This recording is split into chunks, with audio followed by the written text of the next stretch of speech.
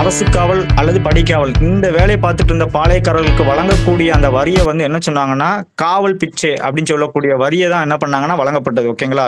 இது ஒரு முக்கியமான ஒரு ஒன்வேடு அதுக்கப்புறம் வந்து பார்த்தாங்கன்னா கிட்டத்தட்ட இந்த பாளையக்காரர்களுடைய தலைமுறை பார்த்தோம்னா கிட்டத்தட்ட அறுபது தலைமுறைகள் வரைக்கும் பாளையக்காரர்கள் வந்து தன்னுடைய உரிமை உரிமையை வந்து வச்சிருந்தாங்க.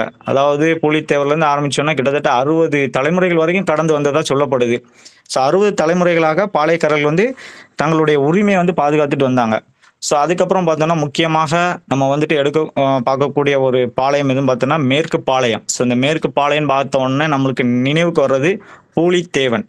பூலித்தேவன் தான் நம்மளுக்கு வந்து நினைவுக்கு வரக்கூடிய ஒரு முக்கியமான ஒரு பாளையக்கார அரசர். ஆயிரத்தி எழுநூத்தி ஐம்பத்தி ஐந்துல இருந்து ஆயிரத்தி எழுநூத்தி அறுபத்தி ஏழு. One five double five one seven double five ஆயிரத்தி எழுநூத்தி ஐம்பத்தி ஐந்து. அதுல இருந்து ஆயிரத்தி எழுநூத்தி அறுபத்தி ஏழு. இந்தியாவில் அதுவும் குறிப்பாக தமிழகத்துல வந்து ஆங்கிலேயருக்கு எதிராக குரல் கொடுத்த முதல் வீரன் அப்படின்னு சொல்லி பூலித்தேவனை தான் சொல்லுவாங்க வரலாற்றில்.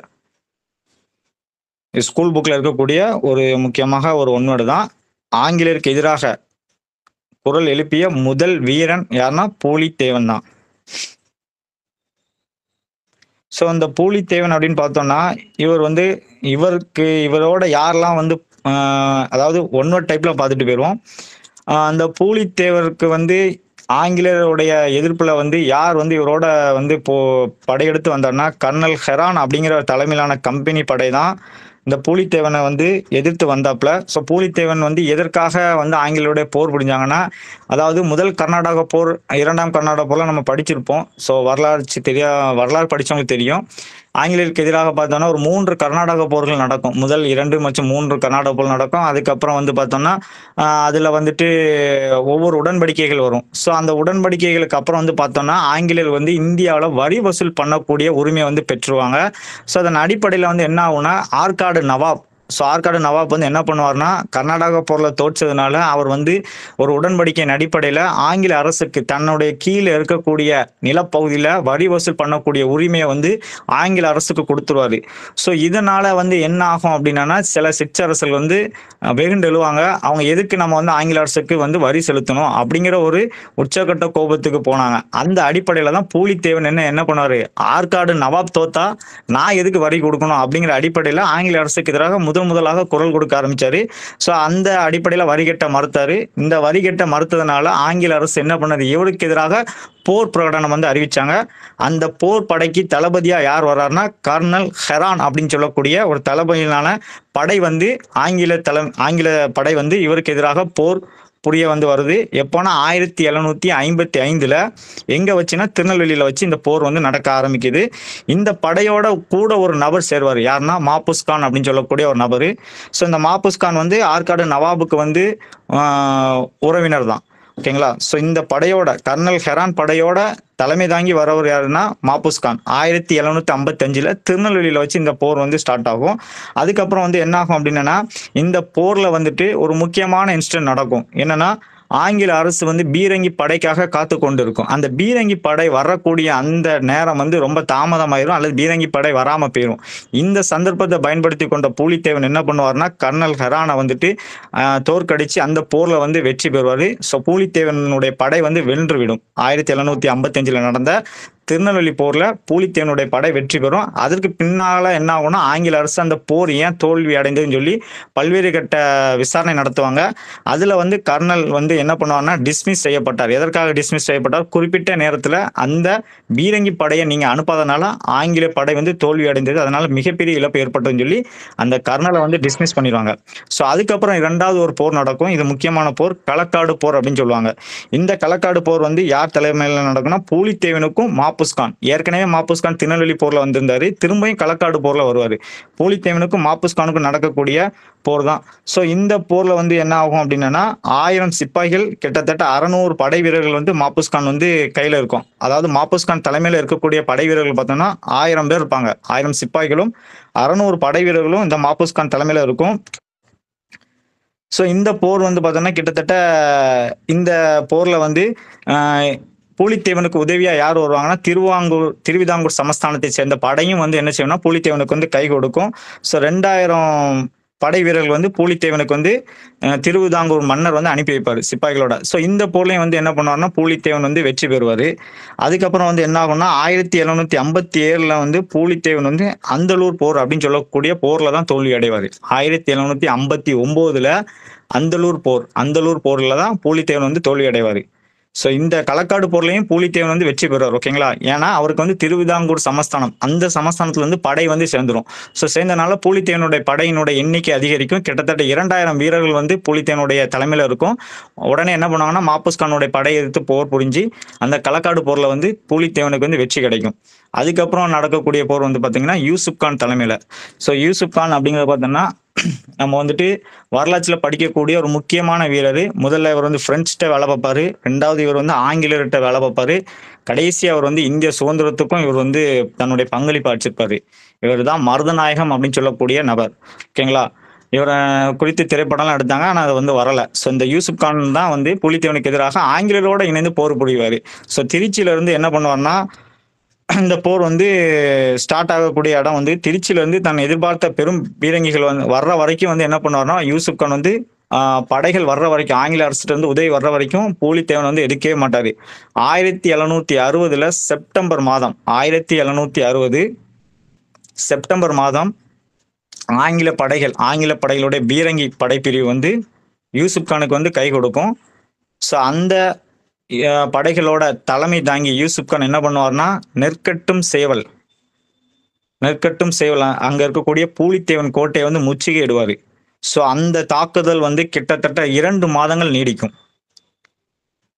ஆயிரத்தி எழுநூத்தி அறுபது செப்டம்பரில் பீரங்கி படைகள் ஆங்கிலோட பீரங்கி படைகள் பூ- வந்து சேர்ந்தவுடன் யூசுப் கான் தலைமையில நெற்கட்டும் சேவல் கோட்டையை பூலித்தேவனுடைய நெற்கட்டும் சேவல் கோட்டையை வந்து முற்றுகையிடுவாங்க. கிட்டத்தட்ட இரண்டு மாதங்கள் வந்து அந்த முற்றுகை நடக்கும். ஸோ இந்த போரில் வந்து ஆயிரத்தி எழுநூத்தி அறுபத்தி ஒன்று மே பதினாறில் பூலித்தேவனுடைய மூன்று கோட்டைகள் வந்து கைப்பற்றப்படும். ஆயிரத்தி எழுநூத்தி அறுபத்தி ஒன்றில் மே பதினாறில் மூன்று கோட்டைகள் நெற்கட்டும் சேவல் வாசுதேவநல்லூர் பனையூர். ஸோ நெற்கட்டும் சேவல் வாசுதேவநல்லூர் பனையூர். இந்த மூன்று கோட்டைகளும் போலித்தேவனுடைய மூன்று கோட்டைகளும் கைப்பற்றப்பட்டு போலித்தேவன் வந்து தோல்வி அடைவார். அதற்கப்புறம் வந்துட்டு என்ன ஆகும்னா யூசுப்கானுக்கும் ஆங்கில அரசுக்கும் பல்வேறு கட்ட பிரச்சனைகள் வந்து நடக்கும். ஏன்னா அது வந்து அவங்க வரலாற்று படி பார்த்தோம்னா அந்த யூசுப் கான் கீழே இருக்கக்கூடிய அந்த மதுரையை வந்து யூசுப் கான் கீ தலைமையில கீழே இருக்கும். ஸோ அந்த மதுரையில் வந்துட்டு என்ன பண்ணுவாங்கன்னா ஒரு கோயிலை இடிக்க சொல்லுவாங்க. அதை யூசுப் கான் மறுப்பார். அதுக்கப்புறம் ஆங்கில அரசுக்கு அவருக்கு பல்வேறு கட்ட பிரச்சனை எழுப்பும். ஸோ அப்படி நிறைய வரும். அதனால வந்துட்டு இவர் ஆங்கில அரசை எதிர்த்து போடுவார். ஸோ இவரும் வந்து என்ன பண்ணுவார்னா தேச துரோகமாக அறிவிக்கப்பட்டு இவருக்கு எதிராக வந்து ஆங்கில அரசு படையை திரட்டி அவருக்கு எதிராக போர் புரிவாங்க. ஸோ அதுக்கு ஆற்காடு நவாப் வந்து துணை போவார். ஆற்காடு நவாப் மற்றும் வந்து ஆங்கில படைகள் சேர்ந்து யூசுப் கானை வந்து தோல் போர் தொடுத்து ஆயிரத்தி எழுநூத்தி அறுபத்தி நாலுல யூசுப் கான் வந்து ஆங்கிலேயரால் தூக்கி இடப்படுவார் ஆயிரத்தி எழுநூத்தி அறுபத்தி நாலுல. ஸோ முதல்ல வந்து ஆங்கிலரோட சேர்ந்து பூலித்தேவனா வந்து தோற்கடிக்காரு. ரெண்டாவது அதே யூசுப்கான ஆங்கில அரசு என்ன பண்ணுது?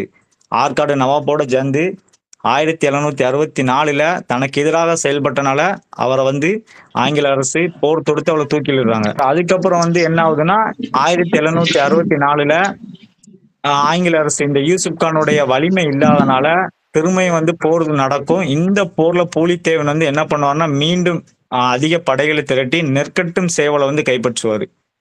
ஏற்கனவே ஆயிரத்தி எழுநூத்தி அறுபத்தி ஒண்ணுல மூன்று கோட்டைகளும் இழந்தாச்சு. அதுக்கப்புறம் ஆங்கிலேயருக்கும் யூசுப் கானுக்கும் போர் நடந்தனால யூசுப் கானை வந்து ஆங்கில அரசு கொண்டுடுறாங்க ஆயிரத்தி எழுநூத்தி அறுபத்தி நாலுல.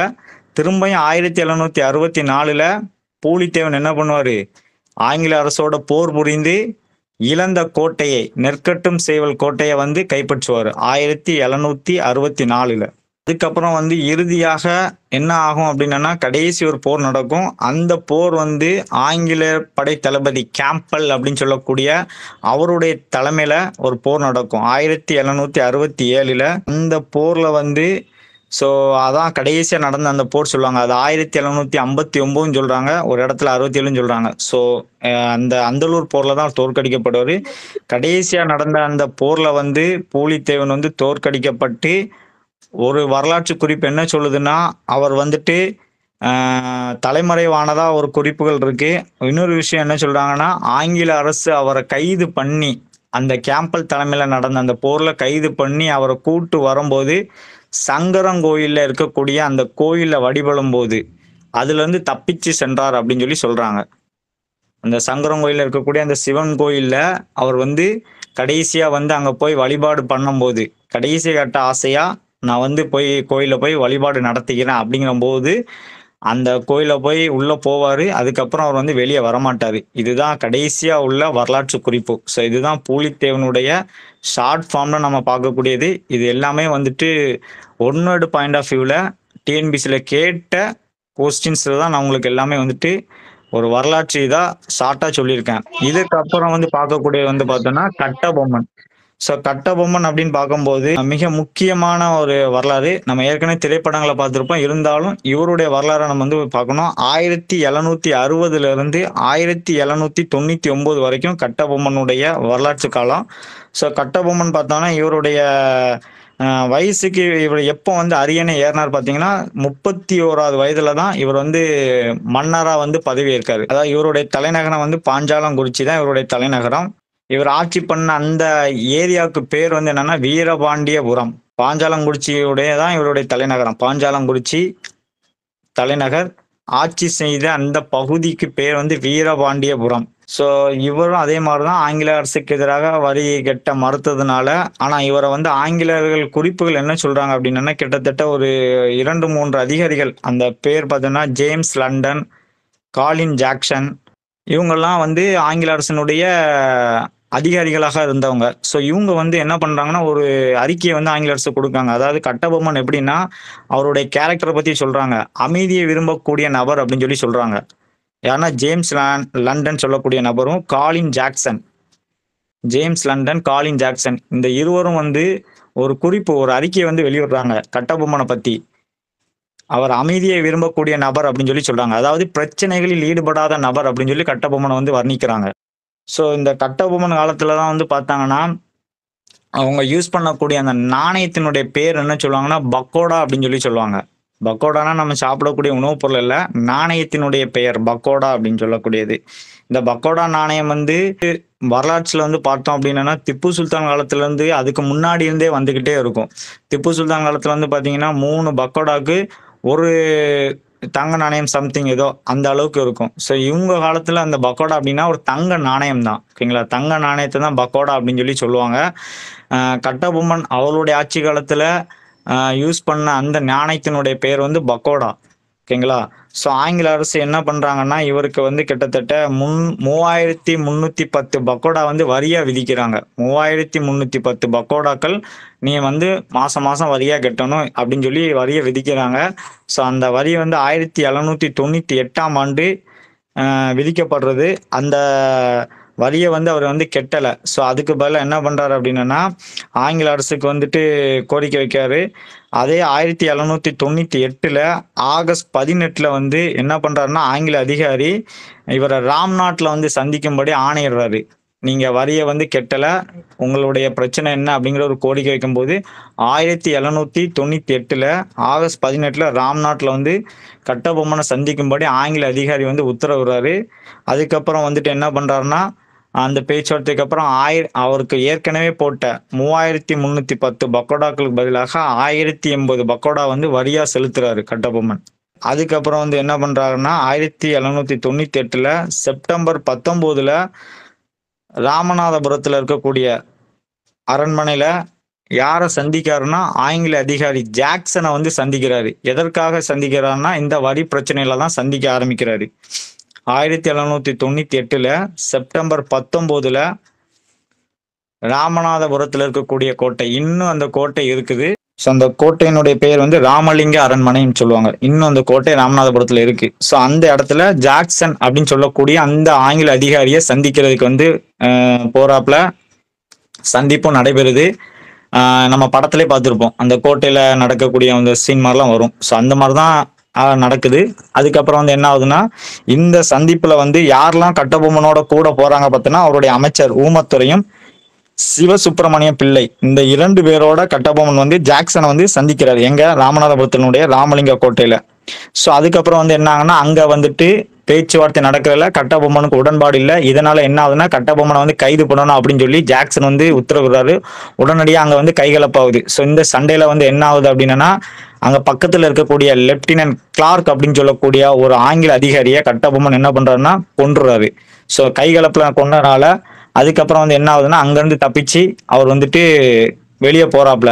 ஸோ இதுக்கப்புறம் வந்து என்ன ஆகுதுன்னா இந்த சம்பவத்தை குறித்து என்ன பண்றாருன்னா கட்டபொம்மன் மெட்ராஸ்ல இருக்கக்கூடிய ஆங்கில தலைமைக்கு ஆங்கிலத்தின் ஆங்கிலசனுடைய தலைமைக்கு வந்து கட்டபொம்மன் முறையிறாரு ஸோ ஜாக்சன் வந்து இந்த மாதிரி சந்திக்க போனோம் அங்கே நடந்த பிரச்சனையில வந்து கிளார்க் வந்து எப்படி கொல்லப்பட்டார் அப்படிங்கிற விஷயத்த கட்டபொம்மன் வந்து எடுத்து உரைக்கிறாரு அதன் அடிப்படையில் வந்து என்ன பண்றாங்க அப்படின்னா ஆங்கில அரசு அந்த கட்டபொம்மனுடைய கோரிக்கையை ஏற்றுக்கொண்டு அவர் நடந்தது உண்மையிலே வந்துட்டு என்ன அப்படிங்கிற விசாரணை குழு அணைக்கிறாங்க ஸோ அந்த விசாரணை குழுவில் வந்து பார்த்தீங்கன்னா யாரெல்லாம் இருக்காங்கன்னா வில்லியம் ப்ரௌன் அப்படின்னு சொல்லக்கூடிய ஒரு அதிகாரியும் வில்லியம் ஓரம் அப்படின்னு சொல்லக்கூடிய ஒரு அதிகாரி.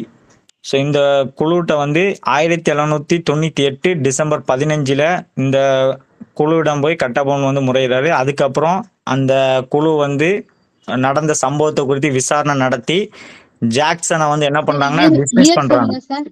ஆயிரத்தி எழுநூத்தி தொண்ணூத்தி எட்டு டிசம்பர் பதினஞ்சு.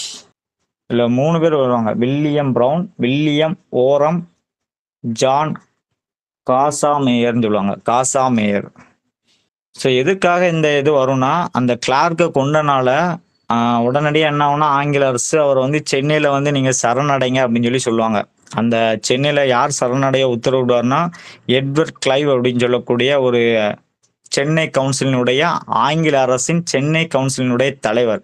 எட்வர்ட் கிளா கிளைவ் எட்வர்ட் கிளைவ் அப்படின்னு சொல்லக்கூடிய அவர் தான் வந்து அந்த அதிகாரி உத்தரவு போடுவார் நீங்கள் வந்து சென்னையில் வந்து கட்டபொம்மன் வந்து நீ அங்கே வந்து சரணடை அப்படின்னு சொல்லி சொல்லும்போது கட்டபொம்மன் வந்து நடந்த விஷயத்தை வந்து எடுத்து உரைப்பார். யார் தலைமையிலனா William Brown William Oram John Casamajor இவங்க தலைமையில் நடக்கக்கூடிய அந்த குழுவில் வந்து விசாரணையில் என்ன நடந்ததுங்கிற சம்பவத்தை குறித்து சொல்லும்போது அவங்க விசாரணை நடத்தி யார் மேலே தவறு இருக்குங்கிறத உண்மையில் அறிஞ்சு அதுக்கப்புறம் அவர் எவ்வளோ வரி கட்டியிருக்கார் எல்லா விஷயத்தையும் சம்பவத்தையும் எடுத்து பிடிச்சதுக்கப்புறம் ஜாக்சன் வந்து என்ன பண்ணுவாங்கன்னா அவரை வந்து பணி நீக்குவாங்க. ஏன்னா ஜாக்சன் மேலே தான் தவறு. அவர் ஆங்கில அரசனுடைய அனுமதி இல்லாமல் கட்டபொம்மனை வந்து ராமலிங்கபுரம் அரண்மனையில் ச ராமநாதபுரத்தில் சந்திக்க வச்சது தவறு அப்படின்னு சொல்லி மேலிடத்தினுடைய உத்தரவு இல்லாமல் அவரை சந்திக்க வச்சுட்டாங்கன்னு சொல்லி அவரை வந்து பணி நீக்கம் டிஸ்மிஸே பண்ணிடுவாங்க.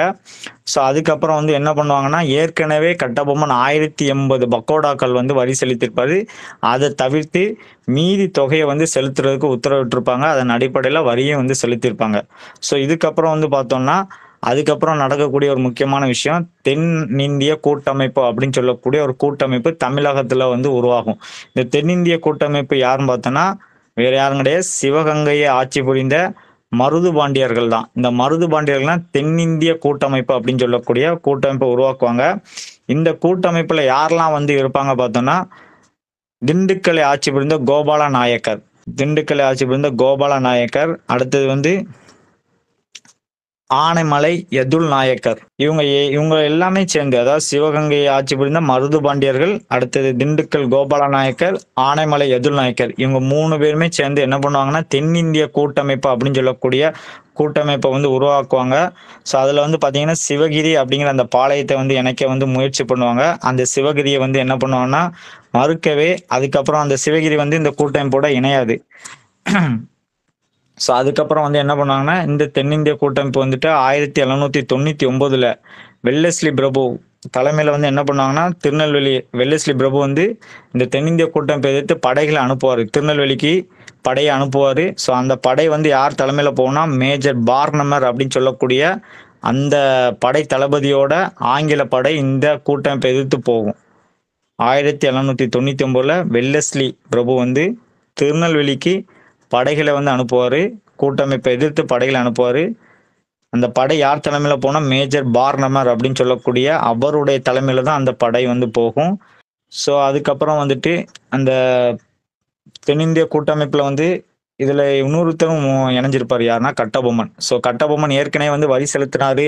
ஓகே பிரச்சனைகள் வந்து நீண்டுகிட்டே இருக்கும். அதுக்கப்புறம் ஆங்கிலருடைய அதிகாரிகள் மாற்றம் வருவாங்க. அதுக்கப்புறம் வந்துட்டு மருதுபாண்டியலுடைய இணைவு அதுக்கப்புறம் தென்னிந்திய கூட்டமைப்பில் இவர் போய் இணைஞ்சதுக்கப்புறம் ஆங்கில அரசுக்கு எதிராக வரி செலுத்த மறுப்பார்.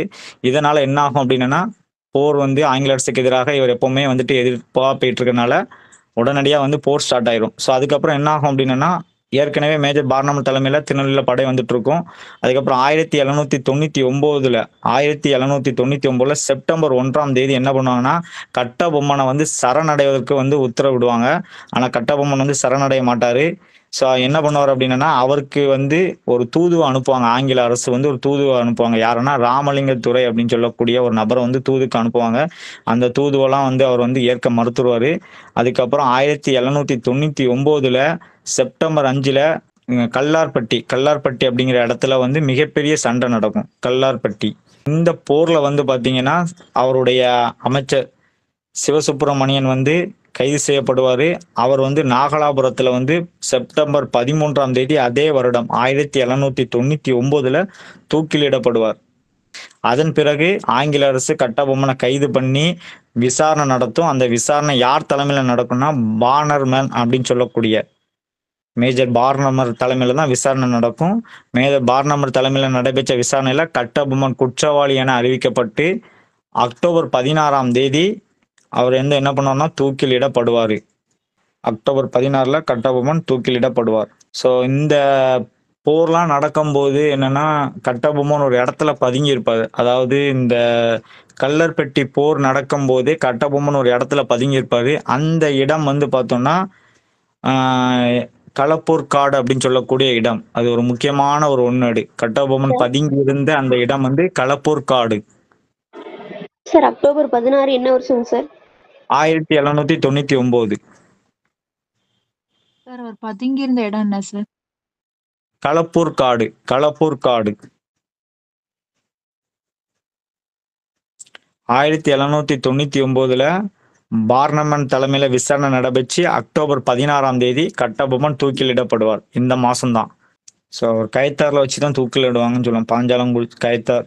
அந்த போனீங்கன்னா அந்த திருநெல்வேலி டு கயத்தார் வழியா போனோம்னா அவர் பக்கத்துல ஒரு கோட்டை வரும்.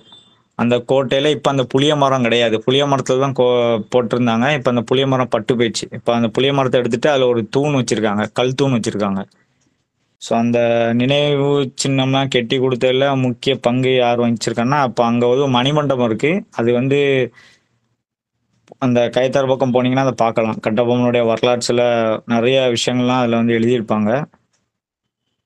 அதுக்கு வந்து நடிகர் சிவாஜி ஒரு? நிமிஷம். புதுக்கோட்டை மாவட்டம் திருமயத்துல கோட்டையில வந்து அவர் பதுங்கி இருந்ததா சொல்லி வரலாறு சொல்லுங்க சார். எங்க ஊர் நாங்க நான் புதுக்கோட்டை தான். புதுக்கோட்டையில ம். திருமயம் கோட்டையில அவர் பதுங்கி இருந்ததா சொல்லி அங்க எழுதியிருக்காங்க. ஆ இதுல ஆக்சுவலா வந்து என்னன்னா அந்த இடம் வந்து அந்த போர் நடக்கும்போது அவர் இருக்கக்கூடிய அந்த காடு திருமயங்கோட்டைக்கும் போவாரு அங்கேயும் இருப்பாங்க. ஆனா அந்த களப்பூர் காடுங்கிறது அந்த புதுக்கோட்டை அந்த பகுதியில தான் வரும். ஓகேங்களா? ஏன்னா இறுதியா வந்து அவர் வந்து மருது சகோதரர்கள் வந்து தான் அவரை வந்து இது பண்ணுவாங்க. நான் உங்களுக்கு ஷார்ட்டா சொல்றேன். ஏன்னா இது வந்து ஹிஸ்டரினால ரொம்ப இழுத்து போனேன்னா போர் அடிச்சிடக்கூடாதுன்னு சொல்லி தான் ஒன்னோட பாயிண்ட் ஆஃப் வியூவில் ஓரளவுக்கு ஸ்டோரியா கேட்ட கொஸ்டினை தான் உங்களுக்கு நான் வந்து புக்கில் இருக்கக்கூடியதா? நைன்த்து டென்த்து அப்புறம் ப்ளஸ் ஒன் இந்த மூணு புக்லையும் இருக்கக்கூடிய விஷயத்தை தான் நான் உங்களுக்கு வந்து தொகுத்து நினைச்சுக்காதீங்க. திருமயம் கோட்டையம் வந்து உண்மைதான். அது கரெக்ட் தான். இல்லைங்கிறத அது வரலாற்றுல இருக்கக்கூடியதான். அது உண்மைதான். அவங்க போர் நடக்கும்போது பதுங்கி இருந்த அந்த காட்டினுடைய பேர் களப்பூர் காடு அது திருமயம் கோட்டை தான். அது பக்கத்துல தான் இருக்கு. அடுத்து நம்ம பார்க்கக்கூடியது வந்து முக்கியமான நபர்கள் மருது சகோதரர். ஸோ இவங்களுடைய பூர்வீகம் வந்து பார்த்தோம்னா நரிக்குடி அருகே உள்ள கிராமம். அதாவது மருது சகோதரர்களுக்கு வந்து பூர்வீகம் வந்து நரிக்குடி அப்படின்னு சொல்லக்கூடிய பக்கத்தில் இருக்கக்கூடிய ஒரு சிறு கிராமம் தான். இவங்களுடைய பெற்றோர்கள் வந்து பார்த்தீங்கன்னா பொன்னாத்தால் பழனியப்பன் அப்படின்னு சொல்லக்கூடிய அவர்கள் தான் இவங்களுடைய பெற்றோர்கள். பொன்னாத்தால் பழனியப்பன். ஸோ இதில் வந்து என்னென்னா பெரிய மருது அப்படின்னு பார்த்தோம்னா அதில் வந்து பெரிதும் பெரிய மருது வெள்ளை மருது அப்படின்னு சொல்லுவாங்க அவரை. பெரிய மருது வந்து வெள் வெள்ளை மருது. அவர் தான் பெரிய மருதுன்னு சொல்லுவாங்க. அவருனுடைய தம்பி தான் சின்ன மருது. ஸோ இவர் வந்து அரசினுடைய ஆலோசகராக இருந்தார். பெரிய மருது வந்து அரசராக இருந்தார்.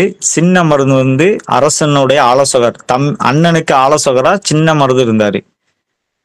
பெரிய மருதனுடைய பெயர் வந்து வெள்ள மருது அப்படின்னு சொல்லுவாங்க. ஓகேங்களா? ஸோ இவங்க ரெண்டு பேருமே வந்து யாருக்கு தளபதிகளா இருந்தாங்கன்னா முத்து வடுகநாதர் அப்படின்னு சொல்லக்கூடிய அந்த அரசருக்கு வந்து இவங்க தளபதியா இருந்தாங்க. முத்து வடுகநாதருடைய படையில வந்து இந்த இரண்டு நபர்களும் இந்த இரண்டு மருது சகோதரர்கள் இருவரும் தளபதிகளா இருந்தாங்க. ஓகேங்களா? தளபதிகள் மற்றும் ஆலோசகரா இருந்தாங்க. இதுல வந்து இந்த பெரிய மருதுன்னு சொல்லுங்க முத்து வடுகநாதர். முத்து வடுகநாதர். முத்து வடுகநாதரின் தளபதிகள் தான் இந்த பெரிய மருது சின்ன மருது. ஸோ இவங்க வந்து என்ன பண்ணுவாங்கன்னா இந்த முத்து வடுகநாதர் வந்து இறந்து போயிவாரு முத்து வடுகநாதர் இறந்தனால வந்து என்ன ஆகும்னா அவருக்கு அப்புறம் வந்துட்டு வேலு நாச்சியார். ஸோ அவருடைய மகள் வாரிசுரிமையின் அடிப்படையில் வேலு நாச்சியாருக்கு வந்து அரசுரிமை கிடைக்கிறதுக்கு இந்த மருது சகோதரர் வந்து மிகப்பெரிய பங்காற்றுவாங்க. யாரு? முத்துவடுகநாதருடைய அவர் இறந்ததுக்கு அப்புறம் அவருடைய மகளான ஓகேங்களா? வேலு நாச்சியார். ஸோ இந்த வேலு நாச்சியார் வந்து அரியணை ஏறதுக்காக இந்த மருது சவர்கள் வந்து மிகப்பெரிய பங்கை வைப்பாங்க ஸோ இவங்கெல்லாம் சேர்ந்து வந்து என்ன பண்ணுவாங்கன்னா மதுரை ராமநாதபுரம் கூட்டமைப்பு அப்படின்னு சொல்லக்கூடிய ஒரு கூட்டமைப்பை வந்து மருது சவர்கள் வந்து உருவாக்குவாங்க. அந்த கூட்டமைப்பில் வந்து பார்த்தோன்னா மலபார் கூட்டமைப்பு அப்படின்னு சொல்லக்கூடிய அதில் ரெண்டு கூட்டமைப்பு வரும். மதுரை ராமநாதபுரம் கூட்டமைப்பு அடுத்து வந்து மலபார் கூட்டமைப்பு. ஸோ கோவை மலபார். அப்போ வந்து கோவை அப்படிங்கிற ஒரு தனி ஒரு சிற்றரசர் கீழே தான் இயங்கிட்டு இருக்கும். ஸோ கோவை மலபார் கூட்டமைப்பு. இதில் வந்து யார் வருவார்னா கேரள வர்மா நம்பூதிரி மாப்பிள்ளைமார்கள். அதாவது கேரளா மலபார் கூட்டமைப்பு ஒன்று மதுரை ராமநாதபுரம் கூட்டமைப்பு. ஏற்கனவே தென்னிந்திய கூட்டமைப்பு படித்தோம் அது போக ஒரு ரெண்டு கூட்டமைப்புகளில் இதெல்லாம் வரும். சரி தென்னிந்திய கூட்டமைப்புல தான் இதெல்லாம் வரும். மதுரை ராமநாதபுரம் இல்லை மது மருது சகோதரர்கள் வந்து அவங்க வந்து ராமநாதபுரம் மதுரை கூட்டமைப்பு. அப்புறம் கோயம்புத்தூர் மலபார் கூட்டமைப்பில் கேரள வர்மா கேரளாவை ஆட்சி புரிந்த அந்த வர்மாக்கள் சொல்லக்கூடிய அவங்க கேரள வர்மா அப்புறம் நம்பூதிரிகள் அப்புறம் வந்து மாப்பிள்ளைமார்கள். அடுத்தது வந்து கவுண்டர்கள். ஸோ இவங்கெல்லாம் வந்து கேரளா ஆஹ், மலபார் அதாவது கோவை மலபார் கூட்டமைப்பில் வந்து வருவாங்க. ஸோ இந்த மருது சவுல் வந்து என்ன பண்ணாங்கன்னா ஆயிரத்தி எழுநூத்தி எழுவத்தி ரெண்டுல ஆற்காடு நவாப் ஸோ அந்த ஆற்காடு நவாபுக்கு எதிராக வந்து போர் புனிவாங்க ஸோ அந்த சிவகங்கை முற்றுகை வந்து நடக்கும் ஆயிரத்தி எழுநூத்தி எழுவத்தி ரெண்டுல ஆயிரத்தி எழுநூத்தி எழுவத்தி ரெண்டுல ஆற்காடு நவாப்படை வந்து சிவகங்கை வந்து முற்றுகையிடும். ஸோ அதுல வந்து இந்த மருது வந்து அந்த படையை வந்து எதிர்த்து போர் புரிவாங்க. அதுக்கப்புறம் வந்து மருது பாண்டியர்களுடைய களத்தை பத்தி பார்ப்போம். இவங்க என்னென்ன போர்லாம் புரிஞ்சாங்க இவங்களுடைய ஆஹ், வரலாறு என்னங்கிறத ஆங்கில அரசுக்கு எதிராக இவங்க என்ன செயல்பட்டாங்க அப்படிங்கிறத பார்ப்போம். ஸோ மருது பாண்டியர்கள் வந்து பார்த்தாங்கன்னா இவங்க வந்து இரண்டாவது பாளையக்காரர் களம் அப்படின்னு சொல்லலாம் இவங்கள. ஏன்னா ஏற்கனவே ஒரு பாளையக்காரர் களம் வந்து பார்த்தோம். கட்டபொம்மன் பூலித்தேவன் அப்படிங்கிறத. இது இரண்டாவது பாளையக்காரர் களம் செகண்ட் பார்ட் பாளையக்காரர்களுடைய இரண்டாவது பாட்டு தான் இந்த மருது களம் அப்படின்னு சொல்லக்கூடிய மருது சவுளுடைய பங்களிப்பு. இதில் வந்து பார்த்தோம் அப்படின்னா இந்த மருது பாண்டியர்களுடைய யா வேற யாரெல்லாம் இணைஞ்சிருப்பாங்கன்னா திண்டுக்கல் கோபால நாயக்கர். ஏற்கனவே நம்ம பார்த்தோம். அதே மாதிரி நம்ம ஃபர்ஸ்ட் பார்த்த மலபார் கூட்டமைப்பு. ஸோ அந்த மலபார்ல இருக்கக்கூடிய கேரள வர்மா அதுக்கப்புறம் வந்து பார்த்தீங்கன்னா மைசூரை சேர்ந்த கிருஷ்ணப்ப துண்டாஜி அப்படின்னு சொல்லக்கூடிய மூன்று பேரும் இதுல வந்து இணைஞ்சிருப்பாங்க. அதாவது இந்த மருது சகோதரோட வேற யாரெல்லாம் வந்து கூட்டணியில இருந்தாங்கன்னா திண்டுக்கல் கோபால நாயக்கர் மலபார் கேரள வர்மா அடுத்தது மைசூர் கிருஷ்ணாப்பா துண்டாஜி. மைசூரை ஆட்சி புரிந்த கிருஷ்ணாப்பா துண்டாஜி. துண்டாஜி. இதுல வந்து என்ன ஆகும் அப்படின்னா ஆயிரத்தி எண்ணூறுல கோயம்புத்தூர்ல வந்து ஒரு ரெவல்யூஷனரி ஸ்டார்ட் ஆகும். ஒரு கிளர்ச்சி நடக்கும். இந்த கிளர்ச்சி தான் வந்து என்ன ஆகும் அப்படின்னா தென்னிந்தியாவில் வந்து பரவ ஆரம்பிக்கும். அதாவது சவுத் சைடு கேரள கோயம்புத்தூர் பகுதியில் உருவாகக்கூடிய ஆங்கில அரசுக்கு ஏற்பட்ட அந்த புரட்சி படிப்படியாக படிப்படியா வந்து ராமநாதபுரம் வரைக்கும் பரவும். ஸோ ராமநாதபுரத்துல வந்து அந்த பாளையக்காரர்கள் வந்து ஆங்கில அரசுக்கு எதிராக வந்து புரட்சியில் ஈடுபடுவாங்க. இந்த புரட்சியில் வந்து பார்த்தோம்னா ஆங்கில அரசுகள் இந்த புரட்சியை வந்து பல்வேறு கட்ட விதத்தில் ஒடுக்கிறதுக்கு பாடுபட்டு அதன் அடிப்படையில் கோயம்புத்தூர் சத்தியமங்கலம் அப்புறம் தாராபுரம் இந்த பகுதிகளில் இருக்கக்கூடிய பாளையக்காரர்கள் எல்லாத்தையும் கைது பண்ணி அவர் அனைவரையுமே வந்து என்ன பண்ணுவாங்கன்னா தூக்கிலிடுவாங்க. ஏன்னா இந்த கோயம்புத்தூர் புரட்சியில் ஈடுபட்டனால. ஸோ ஆங்கில அரசுக்கு எதிராக ஒரு புரட்சி கோயம்புத்தூர் புரட்சி ஆயிரத்தி எண்ணூறில் ஸ்டார்ட் ஆகும். ஸோ இந்த புரட்சி ராமநாதபுரம் வரைக்கும் பரவும். இந்த புரட்சி முன்னெடுத்து சென்ற ஒவ்வொரு பாளையக்காரர்களையும் வந்து ஆங்கில அரசு என்ன பண்ணுவாங்கன்னா கைது பண்ணுவாங்க. அதில் முக்கியமாக சொல்லப்பட்டதுன்னா கோயம்புத்தூர் சத்தியமங்கலம் தாராபுரம். இந்த பகுதியில் இருக்கக்கூடிய பாளையக்காரர்களை ஃபுல்லாமே கைது பண்ணி அவர்களை வந்து ஆங்கில அரசு என்ன பண்ணுவாங்கன்னா தூக்கிலிடுவாங்க. அதுக்கப்புறம் தான் வந்து என்ன ஆகும்னா கட்டபொம்மனுடைய சகோதரர் ஊமத்துறை இருக்கார்ல. ஸோ ஊமத்துறை அதுக்கப்புறம் சிவத்தையா அப்படின்னு சொல்லக்கூடிய அந்த இரண்டு நபர்கள் வந்து பிப்ரவரி மாதம் ஆயிரத்தி எண்ணூத்தி ஒண்ணுல சிறையில இருந்து தப்பிச்சிருவாங்க. ஸோ ஆங்கில அரசு அவங்களை கைது பண்ணி ஜெயில வச்சிருப்பாங்க. அந்த ஜெயில இருந்து அவங்க தப்பிச்சு கமுதியில வந்து பதுங்கி இருப்பாங்க ஸோ அவங்களுக்கு வந்து சின்ன மருது அப்படின்னு சொல்லக்கூடிய அவங்கள வந்து அடைக்கலம் பண்ணி அவங்கள வந்து காப்பாத்தி வச்சிருப்பாங்க. யாரா? கட்டபொம்மனுடைய சகோதரனான ஊமத்துறை சிவத்தையாவை ஆயிரத்தி எண்ணூத்தி ஒன்றில் சிறையிலிருந்து தப்பித்த அந்த இருவரையும் வந்து கமுதியில வந்து பதுங்கியிருந்தாங்க. அந்த கமுதியில இருக்கும்போது அவங்களுக்கு அடைக்கலம் கொடுத்தது வந்து யாருன்னா இந்த மருது சகோதரர்கள் தான் ஸோ அதுக்கப்புறம் வந்து அவங்கள வந்து பாதுகாப்பாக எங்க கூட்டு போவாங்கன்னா சிறுவயல் அப்படின்னு சொல்லக்கூடிய பகுதிக்கு அழைத்து போவாங்க. சிறுவயல். அதுக்கப்புறம் வந்து என்ன பண்ணுவாங்கன்னா அதன் பிறகுதான் வந்து ஆங்கில அரசால் தகர்க்கப்பட்ட பாஞ்சாலங்குறிச்சி அந்த கோட்டை வந்து அதுக்கப்புறம் கொஞ்சம் கொஞ்சமா கட்டப்படும். அதுக்கப்புறம் வந்து என்ன பண்ணுவார்னா இந்த கோட்டையை வந்து கட்டப்படுறதுனால காலின் மெக்காலை ஆங்கில அரசு விழித்து கொள்ளும். ஸோ திரும்பியும் வளர விட்டாங்கன்னா பிரச்சனை பெருசாயிடும் சொல்லி ஆங்கில அரசு காலின் மெக்காலை அப்படின்னு சொல்லக்கூடிய தலைமையிலான ஒரு படை அனுப்பும். இந்த படை வந்து என்ன பண்ணும்னா கோட்டையை முற்றுகையிடும்.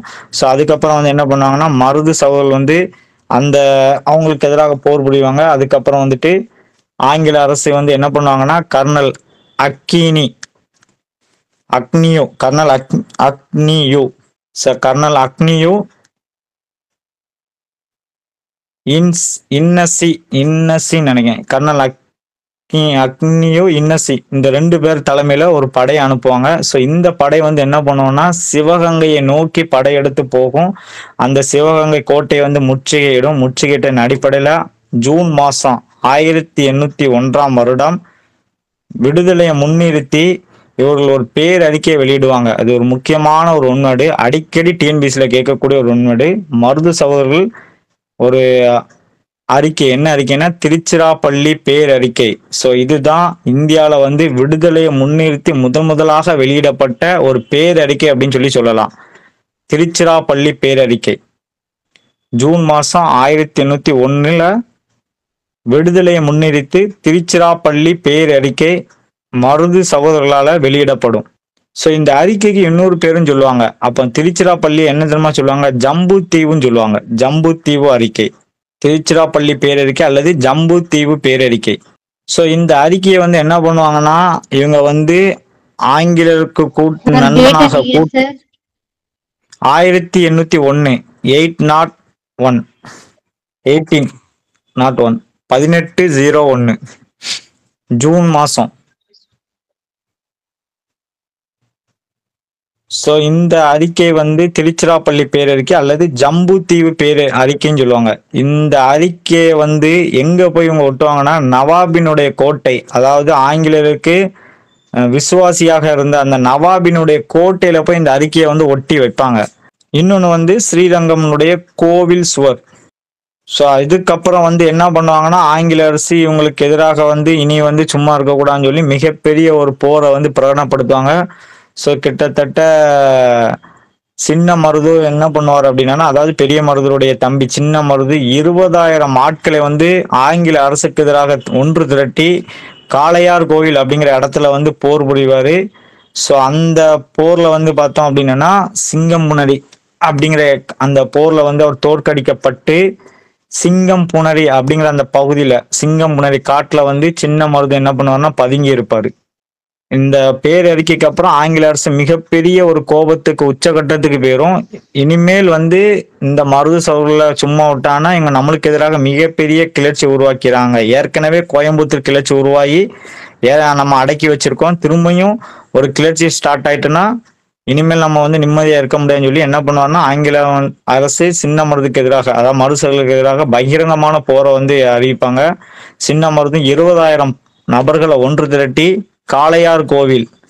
காளையார் கோவிலில் வந்து அந்த போர் நடக்கும். அந்த போர்ல வந்து ஒரு தோற்கடிக்கப்பட்டு சிங்கம் புணரி அப்படின்னு சொல்லக்கூடிய அந்த காட்டில் பதுங்கி இருப்பார் சிவகங்கையினுடைய வீழ்ச்சி. ஸோ மெல்ல மெல்ல அந்த சிவகங்கை வந்து எப்படி வீழ்ச்சி அடையுது அப்படிங்கிறத பார்ப்போம். அதுக்கப்புறம் ஆயிரத்தி எண்ணூத்தி ஒன்று மே மாதம் வந்து தஞ்சை திருச்சியில வந்து தாக்குதல் நடைபெறும். ஆங்கில அரசனுடைய தாக்குதல். அந்த போர் வந்து தொடர்ந்துகிட்டே இருக்கும். ஆயிரத்தி எண்ணூத்தி ஒண்ணுல மே மாசம் தஞ்சை திருச்சியில வந்து மிகப்பெரிய தாக்குதல் நடக்கும். அதுக்கப்புறம் வந்து என்ன ஆகுங்கன்னா பிரான்மலை காளையார் கோயில். ஸோ இந்த பகுதியில் வந்துட்டு அடுத்தடுத்த பிரச்சனை சண்டைகள் அதாவது போர் வந்து ஸ்டார்ட் ஆகி ஆயிரத்தி எண்ணூத்தி ஒண்ணுல சிவகங்கை வந்து என்ன பண்ணும்னா ஆங்கில அரசுடன் இணைக்கப்படும். ஸோ கொஞ்சம் கொஞ்சமா வருவாங்க. ஃபர்ஸ்ட் ஆயிரத்தி எண்ணூத்தி ஒண்ணுல தஞ்சை திருச்சியை கைப்பற்றிடுவாங்க. அதுக்கப்புறம் பிரான்மலை காளையார் கோயில் அப்படி கொஞ்சம் கொஞ்சமா வந்துட்டு கடைசியாக ஆயிரத்தி எண்ணூத்தி ஒண்ணுல சிவகங்கை ஆங்கிலருடைய கைக்கு போயிடும். ஆங்கிலோடைய அரசுல அதை வந்து கைப்பற்றிடுவாங்க. ஸோ ஆயிரத்தி எண்ணூத்தி ஒன்று அக்டோபர் இருபத்தி நாலுல மருது சகோதரர்கள் வந்து என்ன பண்ணாங்கன்னா கைது செய்யப்பட்டு திருப்பத்தூர் அப்படிங்கிற அந்த கோட்டையில வந்து தூக்கிலிடப்பட்டனர். ஆயிரத்தி எண்ணூத்தி ஒன்று அக்டோபர் இருபத்தி நாலு திருப்பத்தூர் கோட்டை. முக்கியமான ஒன்னோட இது. திருப்பத்தூர் கோட்டையில மருது சகோதரர்கள் தூக்கிலிடப்பட்டனர். ஸோ இந்த ஒரு சம்பவம் நடந்துட்டு இருக்கும்போது ஏற்கனவே நம்ம பார்த்தோம். கட்டபொம்மனுடைய சகோதரர்கள் ஊமத்துறை செவத்தையா அவங்க ஒரு பால பாஞ்சாலங்குறிச்சி கோட்டையை கட்டி திரும்பியும் வந்து அவங்க வந்து தன்னுடைய பாளையத்தை புதுப்பிக்க நினைச்சாங்களே அப்போ அவங்களுடைய நிலைமை என்னாச்சு? அதையும் நம்ம பார்க்க வேண்டியது இருக்கு. அவங்களையும் வந்து ஆங்கில அரசு சும்மா விடுவாங்களா? இல்லை அவங்களையும் கைது பண்ணாங்க. கைது பண்ணி அவங்களையும் வந்து என்ன பண்ணாங்க? ஆயிரத்தி எண்ணூத்தி ஒண்ணுல நவம்பர் பதினாறுல ஆயிரத்தி எண்ணூத்தி ஒன்று நவம்பர் பதினாறு. ஸோ இவங்களுக்கு ரொம்ப உறுதுணையா இருந்த மருது சவர்களே இறந்ததுக்கு அப்புறம் இவங்களால ஒன்றும் பண்ண முடியல. ஸோ இவங்களே ஆங்கில அரசு கைது பண்ணி ஊமத்துறை சிவத்தையாவை எங்க பண்ணாங்கன்னா பாஞ்சாலங்குறிச்சியில வச்சு அவங்களுடைய தலையை துண்டாத்துக்கு எடுத்துட்டாங்க. ஆயிரத்தி எண்ணூத்தி ஒன்று நவம்பர் பதினாறு ஊமத்துறை மற்றும் அவருடைய சவ சிவத்தையா எல்லாமே வந்து பாஞ்சாலங்குறிச்சியில வச்சு தலை துண்டிக்கப்பட்டனர். ஸோ இந்த சம்பவங்கள் இந்த கிளர்ச்சிகள் எல்லாமே வந்துட்டு என்ன பண்ணுவாங்கன்னா வரலாற்றுல வந்து ஒரு முக்கியமான ஒரு பெயரால் அழைக்கப்படுது. இதுதான் தென்னிந்திய புரட்சி அப்படின்னு சொல்லி சொல்றாங்க. ஸோ இவ்வளவு நடந்த இந்த கழகத்தினுடைய பெயர் இந்த சிவகங்கை வீழ்ச்சி இந்த மருது சவுகள் உருவாக்கின இந்த கிளர்ச்சி எல்லாமே வந்து என்ன பெயர்ல அழைக்கப்படுதுன்னா தென்னிந்திய புரட்சி அப்படின்னு சொல்லி சொல்லுவாங்க. சவுத் இந்தியா ரெவல்யூஷன் ஸோ இதன் அடிப்படையில் இந்த பெயரோடு பெயரோட அழைக்கப்படுது. அதுக்கப்புறம் வந்து பார்த்தோம்னா ஆங்கில அரசுக்கு வந்து கர்நாடகா உடன்படிக்கைன்னு ஒன்று நடக்கும். ஸோ இந்த உடன்படிக்கை வந்து பார்த்தோம்னா ஆயிரத்தி எண்ணூற்றி ஒன்றில் ஜூலை முப்பத்தி ஒன்றில் அப்போ கர்நாடகா உடன்படிக்கையின்படி பிரிட்டிஷார் வந்து தமிழகத்தின் மீது தங்களை கட்டுப்பாட்டு முழுவதுமாக வரிவசூல் செய்யக்கூடிய அந்த வாய்ப்பை வந்து பெற்றனர். ஏன்னா நவாபோட தான் வந்து அவங்க வந்து என்ன பண்ணுவாங்கன்னா ஆற்காடு நவாப் ஸோ அப்போ இருக்கக்கூடிய அந்த நவாபோட ஒரு உடன்படிக்கை ஏற்படுத்தி ஆயிரத்தி எண்ணூற்றி ஒன்றில் ஜூலை முப்பத்தி இருக்கக்கூடிய எல்லா பாளையக்காரர்களும் சரி முழுமையான கட்டுப்பாட்டு வந்து ஆங்கில அரசுக்கு கண்ட்ரோலில் தமிழகமே போயிடும் ஆயிரத்தி எண்ணூற்றி ஒன்றில் ஸோ சின்ன மருதுக்கு ஒரு நிக்நேம் வந்து உண்டு. என்னென்னா வான்டேர் ரூசோர் அப்படின்னு சொல்லுவாங்க. வான்டேர் ரூசேர் அப்படின்னு சொல்லுவாங்க. வான்டேர் ரூசேர் அப்படின்னு சொல்லி சின்ன மருது வந்து அழைக்கப்படுறாங்க. அடுத்தது வேலு நாச்சியார் வேலு நாச்சியார் அப்படிங்கும்போது முக்கியமான விஷயம் தென்னிந்தியாவின் ஜான்சி ராணி அப்படின்னு சொல்லுவாங்க. தென்னிந்தியாவின் ஜான்சி ராணி யாருன்னா வேலு நாச்சியார். ஸோ இவங்க வந்து யாருன்னா ஆயிரத்தி எழுநூத்தி முப்பதுல செல்லப்ப சேதுபதி அவருடைய மகள் பதினாறு வயதுல வந்து என்ன பண்ணுவாங்கன்னா முத்து வடுகநாதருக்கு வந்து மணந்து கொடுப்பாங்க. முத்து வடுகநாதர். ஏற்கனவே முத்து வடுகநாதர் பார்த்தோம்னா அவருடைய அவங்களுக்கு தான் இவங்க வந்து மணந்து கொடுக்கக்கூடிய அவங்களுக்கு இவங்க வந்து மணந்து கொடுப்பாங்க. செல்லப்ப சேதுபதியினுடைய மகள் தான் வேலுநாச்சியார். முத்து வடுகநாதருக்கு பதினாறு வயதுல திருமணம் முடிச்சு கொடுக்கப்படுகிறது. ஸோ இவங்களுக்கு பிறக்கக்கூடிய அந்த பிள்ளையினுடைய பேர் வந்து வெள்ளச்சி நாச்சியார். ஸோ வெள்ளச்சி நாச்சியார் முத்து வடுகநாதருக்கும் வேலுநாச்சியார் பிறக்கக்கூடிய வெள்ளச்சி நாச்சியார். இவங்களுடைய மா இந்த வெள்ளச்சி நாச்சியாருடைய கணவர் பெயர் வந்து பார்த்தோம்னா பெரிய வேங்கை உடைய தேவர் ஸோ அந்த முத்து வடுகநாதரும் வந்து என்ன பண்ணுவார்னா மருது சகோதரோட கூட்டணி அமைச்சு ஆங்கில அரசுக்கு எதிராக போர் போர் புரிவார். ஸோ ஆங்கில அரசுக்கு எதிராக வரி கட்ட மறுப்பார். இதனால ஆங்கில பிரிட்டிஷ் கவர்மெண்ட் வந்து என்ன பண்ணுன்னா இவங்களுக்கு எதிராக ஆயிரத்தி எழுநூத்தி எழுவத்தி ரெண்டுல ஏற்கனவே நம்ம பார்த்தோம். ஸோ அந்த நவாப் படையும் ஆங்கில படையும் வந்து என்ன பண்ணுவோம்னா சிவகங்கை கோட்டையை வந்து முற்றுகையிடும். யார் தலைமையில? பான்ஜோர் அப்படின்னு சொல்லக்கூடிய தலைமையில. பான்ஜோர் லெப்டினன்ட் கர்னல் பான்ஜோர். ஆயிரத்தி எழுநூத்தி எழுவத்தி ரெண்டுல ஆற்காடு நவாப்பும் மற்றும் லெப்டினன்ட் கர்னல் ஆங்கில அரசனுடைய படைத்தலைவர். லெப்டினன்ட் கர்னல் பான்ஜோர் தலைமையில வந்து என்ன பண்ணுன்னா காளையார் கோயில் இருக்கக்கூடிய அந்த சிவகங்கை கோட்டை அந்த கோட்டையை வந்து ஆஹ், முற்றுகையிடுவாங்க. ஸோ இந்த முற்றுகையிடும் போது அந்த போர்ல வந்துட்டு முத்து வடுகநாதர் கொல்லப்படுவாரு. அதுக்கப்புறம் தான் வந்துட்டு அந்த கோட்டையை வந்து கைப்பற்றணும்னு சொல்லிட்டு தான் வேலு நாச்சியார் வந்து திரும்பியும் வந்துட்டு வெகுண்டிலிருந்து வருவார். அவங்களுக்கு வந்துட்டு யார் போ துணை புரிவார்னா மருது சகோதர்கள் ஸோ அதுக்கப்புறம் வந்துட்டு இவங்க கொல்லப்பட்டதுக்கு அப்புறம் இந்த வேலு நாச்சியார் யாருடைய பாதுகாப்புல இருப்பாங்கன்னா கோபால நாயக்கர் அப்படின்னு சொல்லக்கூடிய அந்த மன்னனுடைய பாதுகாப்புல வந்து இருப்பாங்க. எங்கன்னா விருப்பாட்சி அப்படிங்கிற இடத்துல எட்டு வருஷம் அவங்களுடைய பாதுகாப்புல இருப்பாப்புல. ஸோ எட்டு வருஷம் கழிச்சு என்ன பண்ணுவாங்கன்னா கோபால நாயக்கர் அப்புறம் மற்ற ம சிறு மன்னர்களுடைய தலைமையில மருது சோழர்களுடைய தலைமையிலலாம் வந்து ஒரு படையை உருவாக்கி வேலு நாச்சியார் என்ன பண்ணுவாங்கன்னா ஒரு மிகப்பெரிய ஒரு படையை வந்து திரட்டி கிட்டத்தட்ட ஆங்கில அரசுக்கு எதிராக போர் வந்து புரிவார். ஏற்கனவே தன்னுடைய இழந்த கோட்டையை மீட்டெடுக்கணும் அப்படிங்கிற அடிப்படையில் தளபதி யார்னா தாண்டவராயர் அப்படின்னு சொல்லக்கூடிய இந்த தாண்டவராயர் வந்து என்ன பண்ணுவார்னா ஹைதர் அலிக்கு ஒரு கடிதம் எழுதுவார். இந்த வேலு நாச்சியாருடைய தளபதி தாண்டவராயர்.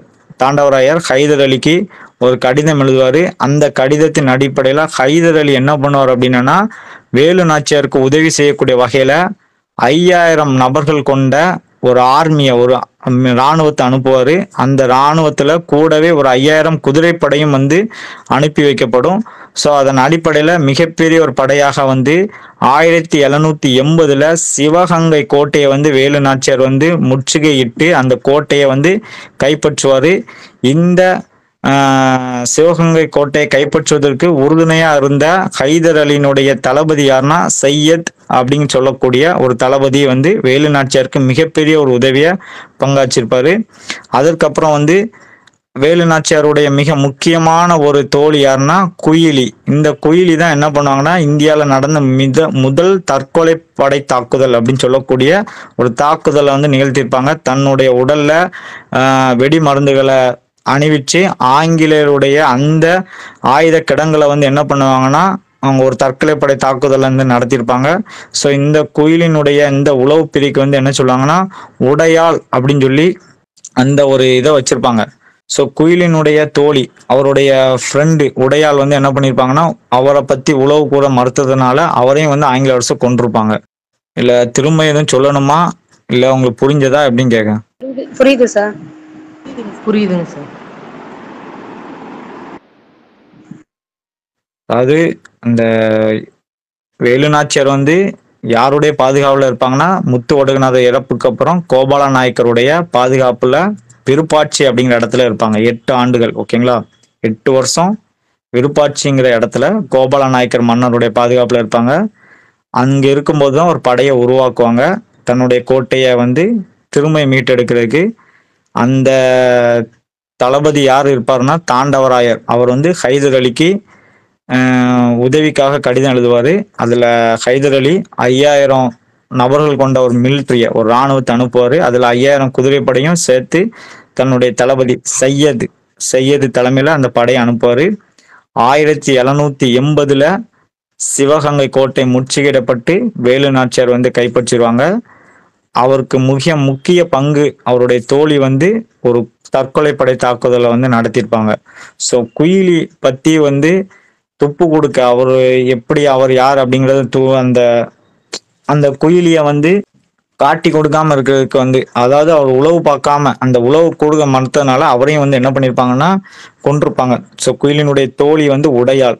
உடையாள் அப்படிங்கிற அந்த ஒரு நபரையும் வந்து கொண்டிருப்பாங்க ஏன்னா குயிலியை பத்தி ஆங்கில அரசு வந்து உழவு கேட்கும். அவர் யாரு என்ன மாதிரி அந்த எந்த படையில இருந்தாப்புல அவருக்கும் வேலுநாச்சியாருக்கும் என்ன தொடர்பு அப்படிங்கிறத அவருடைய தோழியை அரெஸ்ட் பண்ணி தான் அவளை வந்து டார்ச்சர் பண்ணி கடைசியில் அவளை வந்து கொன்றுவாங்க. அதுக்கப்புறம் மிக முக்கியமான ஆள் வந்து பார்த்தீங்கன்னா ஒண்டி வீரன். ஸோ இந்த ஒண்டி வீரன் யாருன்னா? நெற்கட்டும் சேவல். நம்ம ஏற்கனவே பார்த்தோம் பூலித்தேவன். ஸோ அந்த பூலித்தேவனுடைய படை தளபதி தான் ஒண்டி வீரன். இல்லை அதுக்கப்புறம் திண்டுக்கல் கோபால் நாயக்கர். ஸோ திண்டுக்கல் கோபால் நாயக்கர் வந்து ஏற்கனவே நம்ம பார்த்தோம் விருப்பாட்சி அப்படிங்கிற அந்த பகுதியை வந்து ஆட்சி செய்தார். இவர் வந்து இவரும் சின்ன மருது இந்த மருது சகோதரர்கள் இணைஞ்சு தான் தென்னிந்திய புரட்சி அப்படின்னு சொல்லக்கூடிய அந்த புரட்சியை வந்து உருவாக்குனாங்க. நம்ம ஏற்கனவே பார்த்தோம்ல. அதாவது மருது சகோதரர்கள் உருவாக்கிய அந்த கழகங்கள் எல்லாத்துக்குமே வந்து இறுதியாக வைக்கப்பட்ட பேர் தான் தென்னிந்திய புரட்சி. ஸோ அந்த இதெல்லாம் இவங்க தான் சேர்ந்து வந்து உருவாக்குனது. அதுக்கப்புறம் வந்து பார்த்தாங்கன்னா இந்த கோபால நாயக்கர்ல வந்து மிக முக்கியமான ஒரு விஷயம் என்ன பண்ணுவாங்கன்னா விருப்பாட்சி சதி ஆலோசனை அப்படின்னு சொல்லக்கூடிய ஒரு கான்ஸ்பிரசி வந்து கிரியேட் ஆகும். ஸோ அது ஆயிரத்தி எண்ணூறில் ஏப்ரல் மாதம் வந்து உருவாக்குவாங்க. ஸோ எதுக்குன்னா ஆங்கில அரசுக்கு எதிராகத்தான். எல்லாமே வந்துட்டு ஆங்கில அரசுக்கு எதிராக நடைபெற்ற சதி ஆலோசனை தான். இந்த விருப்பாட்சி சதி ஆலோசனை ஆயிரத்தி எண்ணூறில் ஏப்ரல் மாதம் வந்து தொடங்கப்பட்டு அதில் வந்து பார்த்தீங்கன்னா மணப்பாறையை சேர்ந்த லட்சுமி நாயக்கர் அப்போ தேவதானப்பட்டி ஸோ பூஜை நாயக்கர் இவங்க எல்லாருமே வந்துட்டு இந்த சதி ஆலோசனையில வந்து ஈடுபட்டிருப்பாங்க. ஸோ அதுக்கப்புறம் ஆயிரத்தி எண்ணூத்தி ஒன்றுல நடந்த அந்த போர்ல வந்து இந்த நபர்கள்லாம் வந்து இறந்துடுறாங்க. ஸோ அதுக்கப்புறம் வந்து மிக முக்கியமான ஒரு நபர் யாருன்னா தீரன் சின்னமலை. ஸோ தீரன் சின்னமலைக்கு அப்புறம் நம்ம பார்க்கக்கூடிய ஒரு முக்கியமான போர் வந்து வேலூர் புரட்சி. ஸோ வேலூர் புரட்சி அப்படிங்கிறது வந்து வரலாற்றில் மிக முக்கியமாக பார்க்கக்கூடியது இந்த தீரன் சின்னமலையை பற்றி பார்த்துட்டு அந்த டக்குன்னு நம்ம அங்கே போயிடும் ஸோ ஆயிரத்தி எண்ணூறுலேருந்து ஆயிரத்தி எண்ணூற்றி அஞ்சு வரைக்கும் தான் இவருடைய காலகட்டம். இவருடைய இயற்பெயர் வந்து என்ன சொல்லுவாங்கன்னா தீர்த்தகிரி அப்படின்னு சொல்லி சொல்லுவாங்க. இவர் வந்து எந்த பாளையத்தை சேர்ந்தவர்னா கொங்கு பாளையம். கொங்கு பாளையக்காரர் அப்படின்னு சொல்லுவாங்க. அதாவது சேலம் கோவை ஈரோடு கரூர் திண்டுக்கல். இது எல்லாமே ஒருங்கிணைந்த ஒரு பாளையம் தான் சேலம் கோவை ஈரோடு கரூர் திண்டுக்கல். ஸோ இந்த பாளையத்தை சேர்ந்தவர் தான் கொங்கு பாளையக்காரர். இவர் இவர் வந்து என்ன சொல்லுவாங்கன்னா பழைய கோட்டை மன்றாடியார் குடும்பத்தை சார்ந்தவர். இவர் வந்து பழைய கோட்டை மன்றாடியார் குடும்பத்தை சார்ந்தவர். ஸோ இவர் வந்து என்ன பண்ணுவார்னா திப்புனுடைய தளபதி ஒருத்தர் இருப்பார் முகமது அலின்னு சொல்லி. அவர் வந்து என்ன பண்ணுவார்னா வரி வசூல் பண்ணிட்டு போயிட்டு இருக்கும்போது அவரை வழிமறிச்சு அவர்கிட்ட இருந்து வரி பணத்தை வந்து கைப்பற்றுவார். திப்புவினுடைய தளபதி முகமது அலியினிடமிருந்து வரி பணத்தை வந்து இவர் கைப்பற்றியிருப்பாரு ஸோ அதில் வந்து பார்த்தீங்கன்னா அது எங்கே நடக்கும்னா அந்த சம்பவம் வந்து நொய்யல் ஆட்சியில் அந்த கரையோரம் நொய்யல் ஆட்சியினுடைய கரையோரம் அந்த பிரச்சனை நடக்கும். அதில் முகமது அலிக்கும் தீரன் தளபதிக்கு இடையே ஒரு போர் நடக்கும். ஸோ அந்த போரில் வந்து தீரன் சின்னமலை வந்து வெற்றி பெறுவார். ஸோ அதுக்கப்புறம் தான் திப்புவுக்கு வந்து இவர் மேலே ஒரு தனிப்பட்ட ஒரு இது இருக்கும். யாரா இந்த நபர் அப்படின்னு பார்த்து ஸோ திப்புவுக்கும் இவருக்கும் இடையே ஒரு கூட்டணி வந்து ஏற்படும். இந்த கூட்டணி வந்து என்ன ஆகும்னா ஆங்கில அர- அரசுக்கு எதிராக போர் தொடுக்கக்கூடிய நிலையில போயிடும் ஸோ அதுக்கப்புறம் வந்து பார்த்தீங்கன்னா இவர் ஆங்கில அரசுக்கு எதிராக கிட்டத்தட்ட ஒரு மூன்று நான்கு போரில் ஈடுபட்டுருவார். ஒன்று வந்து பார்த்தோம்னா ஓடா நிலைப்போர் அப்படின்னு சொல்லக்கூடிய ஒரு போர் ஆயிரத்தி எண்ணூற்றி ரெண்டில் நடக்கும். ஓடா நிலைப்போர் ஆயிரத்தி எண்ணூத்தி ரெண்டு ஓடாநிலை போர் அடுத்தது காவேரி போர் ஆயிரத்தி எண்ணூத்தி ஒண்ணுல காவேரி போர் அடுத்தது அறச்சலூர் போர் ஆயிரத்தி எண்ணூத்தி நாலுல அறச்சலூர் போர் ஸோ இவர் வந்து பார்த்தோன்னா தீரன் சின்னமலை வந்து மிக முக்கியமான ஒரு போர் முறையை வந்து க கையாண்டிருப்பார் கையாண்டிருப்பாரு. என்னன்னா எதிரிகளிடமிருந்து தப்பிக்கிற கொரில்லா போர் முறையை வந்து கையாண்ட மிக முக்கியமான நபர் வந்து தீரன் சின்னமலை தான். மூன்று போர் சொன்னேன் ஓடாநிலை போர் ஆயிரத்தி எண்ணூத்தி ரெண்டு காவிரி போர் ஆயிரத்தி எண்ணூத்தி ஒன்று அரிச்சலூர் அரச்சலூர் போர் அரச்சலூர் ஆயிரத்தி எண்ணூத்தி நாலு.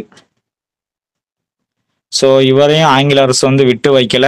ஆயிரத்தி எண்ணூத்தி ஐந்துல வந்து நடந்த சம்பவத்துல இவரை வந்து கைது பண்ணி ஜூலை முப்பத்தி ஒண்ணுல சங்ககிரி அப்படிங்கிற கோட்டையில. ஆயிரத்தி எண்ணூத்தி ஐந்து ஜூலை முப்பத்தி ஒன்று சங்ககிரி கோட்டையில வந்து தூக்கிலிடப்பட்டார். இவர் யாரால காட்டி கொடுக்கப்பட்டார்னா நல்லப்பனால் காட்டி கொடுக்கப்பட்டார். நல்லப்பன் அப்படின்னு சொல்லக்கூடிய ஒரு நபரால் இவர் காட்டி கொடுக்கப்பட்டு ஆங்கில அரசு இவரை கைது பண்ணி சங்ககிரி கோட்டையில வச்சு இவரை தூக்கிலிட்டாங்க.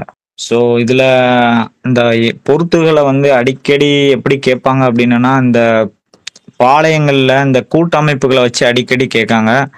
இதில் இதுல வந்து பார்த்தோம்னா இந்த நெல்லைல வந்து பார்த்தோம்னா என்ன கூட்டமைப்பு இருந்தது அப்படின்னா தமிழகத்துல. ஸோ இதோட முடிஞ்சது இதுக்கப்புறம் வந்து வேலூர் புரட்சி தான் இருக்குது.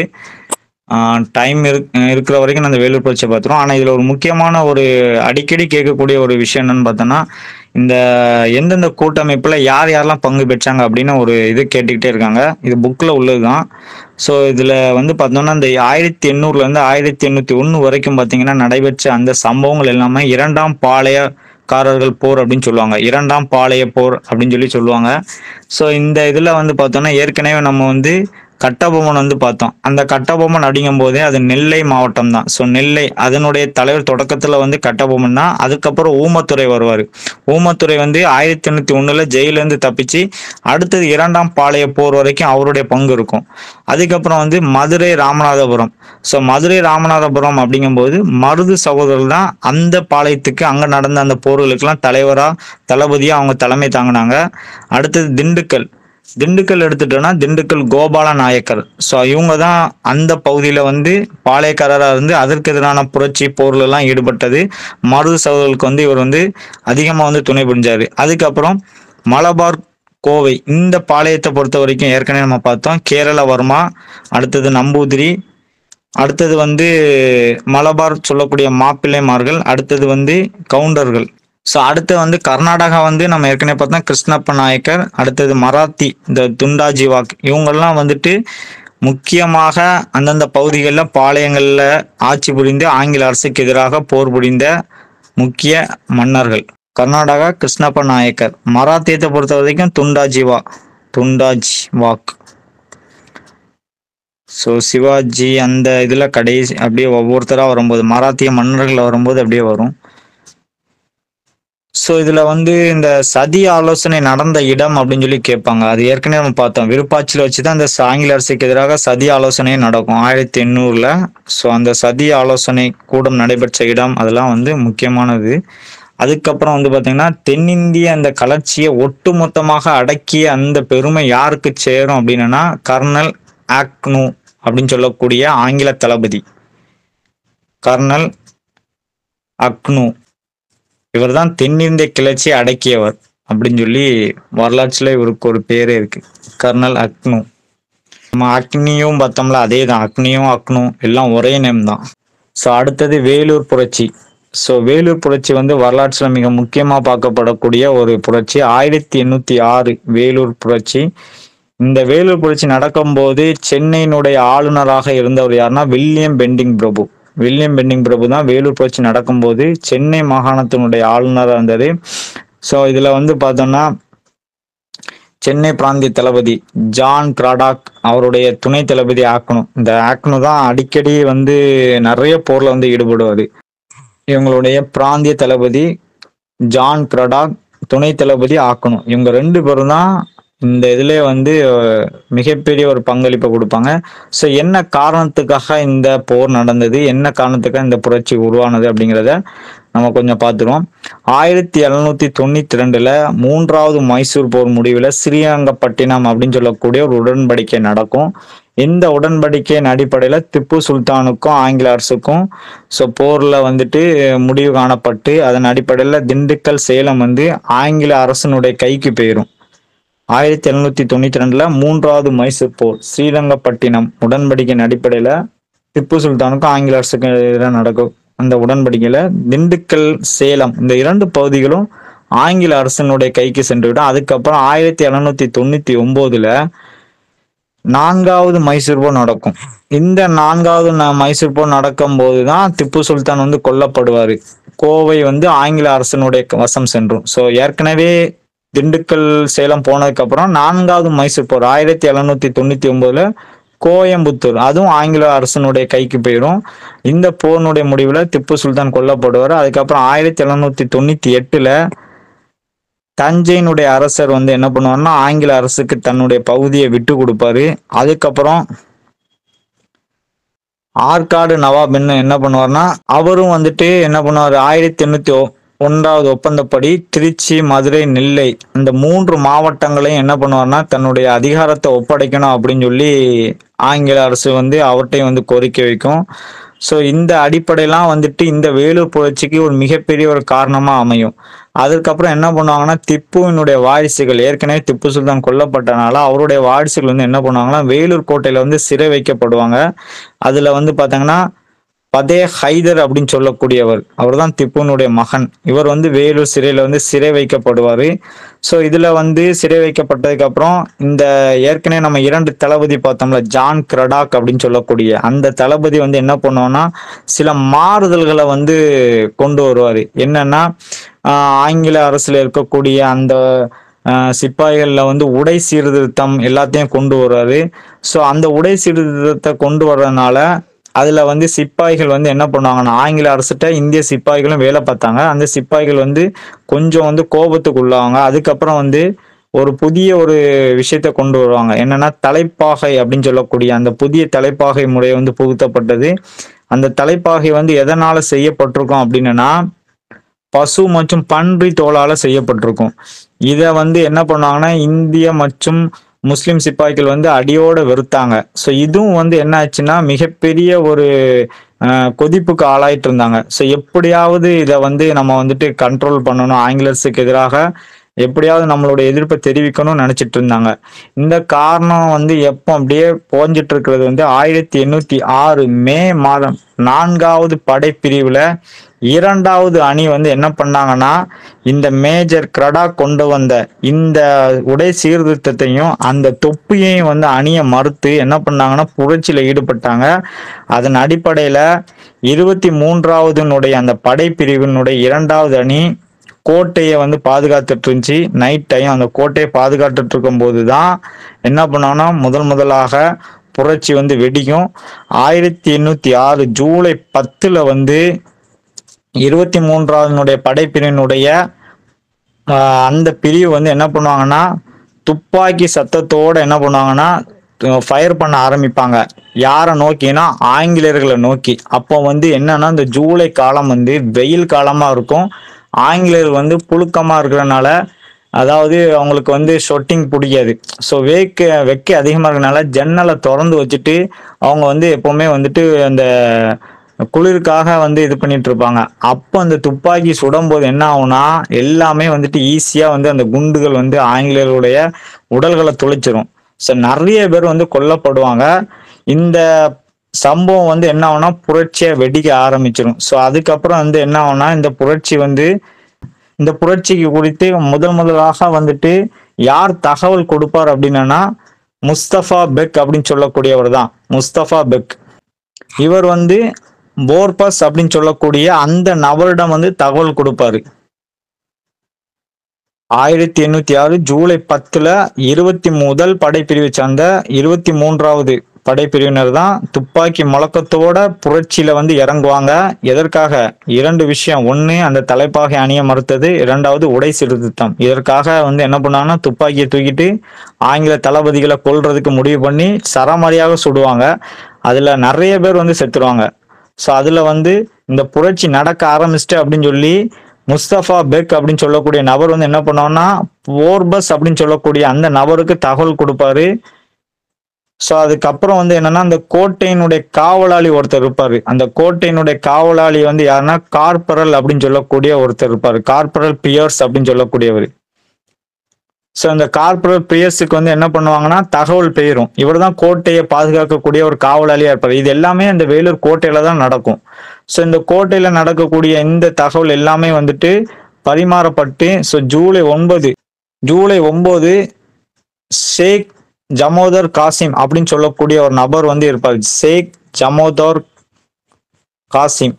இவர் வந்து ஒன்றாவது படைப்பிரிவு ஆங்கில அரசினுடைய ஒன்றாவது படைப்பிரிவின் ஒன்றாவது அணில கோட்டையில இருந்து காவல்ல இருப்பாரு ஸோ ஒவ்வொரு பிரிவா இருக்கும் படைப்பிரிவுகள் ஒன்று ரெண்டு மூணு நாலு அப்படின்ட்டு. பல ரெஜிமெண்ட்டுகளா பிரிச்சிருப்பாங்க பல பிரிவுகளா பிரிச்சிருப்பாங்க. அதுல ஒவ்வொரு பிரிவுக்கும் ஒவ்வொரு தளபதிகள் ஒவ்வொரு நபர்கள் மூலமா அவங்க வந்துட்டு அந்த படையை வந்து வழி நடத்திட்டு போவாங்க. ஸோ அதன் அடிப்படையில ஜூலை ஒன்பது ஷேக் ஜமாதார் காசிம் அப்படின்னு சொல்லக்கூடிய அந்த ஒன்றாவது படைப்பிரிவில் இருக்கக்கூடிய அந்த ஒன்றாவது நபர் வந்து என்ன பண்ணுவார்னா கோட்டையில காவலில் இருப்பாரு.